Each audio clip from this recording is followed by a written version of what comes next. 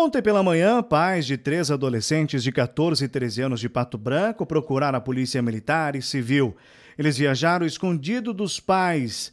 A equipe da TV Sudoeste foi informada que o carro tinha rastreador e pela manhã já mostrava que o veículo estava em Santa Catarina. Eles foram interceptados na BR-280 em Rio Negrinho por policiais rodoviários federais.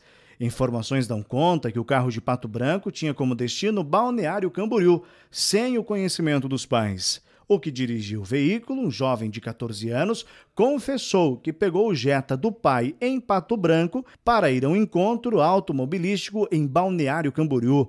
Os passageiros eram a namorada dele, de 13 anos de idade, e um amigo, também com 13. Os policiais fizeram contato com as famílias paranaenses que já haviam registrado o desaparecimento dos menores na delegacia de polícia.